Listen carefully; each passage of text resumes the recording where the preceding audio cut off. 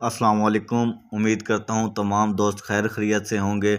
आज की हमारी वीडियो का मकसद है कि सजेंटा कंपनी के टिलेट के अंदर कौन सा जहर मौजूद होता है, किस तरह ये फ़सल पर काम करता है, किस किस फ़सल पर इसे इस्तेमाल किया जाता है, कौन सी फंगस का ये ख़ात्मा करता है, कितनी मकदार में इसे इस्तेमाल किया जाए, इन सब चीज़ों के बारे में आपको बताया जाएगा। ज़रात के मतलब मुकम्मल मालूम हासिल करने के लिए हमारे चैनल एग्रीकल्चर इन्फॉर्मेशन को लाइक करें, सब्सक्राइब करें और बेल आइकन के बटन को प्रेस करें। टिलिट जो है, वो सजेंटा कंपनी की एक प्रोडक्ट है।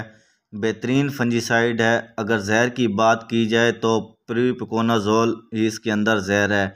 ये लिक्विड फॉर्म के अंदर मौजूद होता है। टिलिट एक सिस्टमेटिक फंजीसाइड है। सिस्टमेटिक फंजीसाइड वो फंजीसाइड होती हैं जिनको हम स्प्रे करके पौधों के ऊपर, फ़सलों के ऊपर तो ये पौधे के अंदर फैल जाती है। यानी हम इसका स्प्रे ऊपर वाले पत्तों पर करेंगे तो ऐसा नहीं है।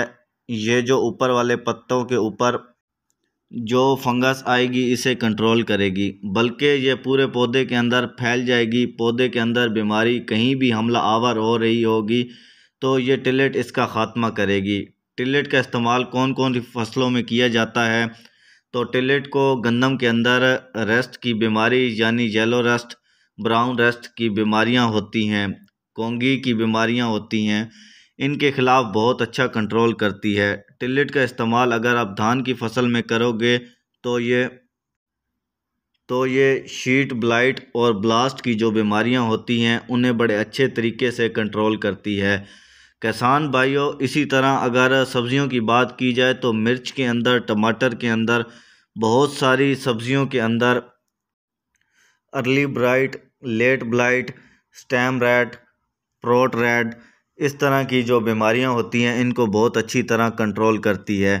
किसान भाइयों, अगर मकदार की बात की जाए तो 200 मिलीलीटर, फ़ी एकड़ 100 लीटर पानी में हल करके स्प्रे कर सकते हैं। तो आप अपनी फ़सल को फंगस से बचा लेते हैं।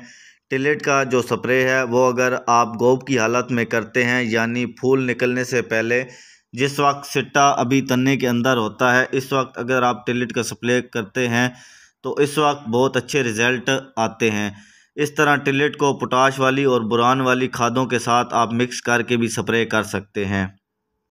कॉपर वाली जो फंजीसाइड होती हैं, जिसे कॉपर एक्सीक्लोराइड इसके साथ इसे मिक्स नहीं किया जाता। इसके अलावा टिलेट के असर की बात की जाए तो ये आपके फ़सल को पंद्रह से बीस दिन तक फंगस के ख़िलाफ़ अपनी जंग जारी रखती है। इससे आपके पौधे में फंगस मुकम्मल ख़त्म हो जाती है। अगर किसी बस, किसान भाई ने पहले से टिलेट का इस्तेमाल किया है तो आप टिलेट के रिज़ल्ट के बारे में कमेंट बॉक्स में अपना तजर्बा शेयर कर सकते हैं। या किसी भी किसान भाई का ज़रात के मुतल कोई भी सवाल हो तो वो कमेंट बॉक्स में पूछ सकता है।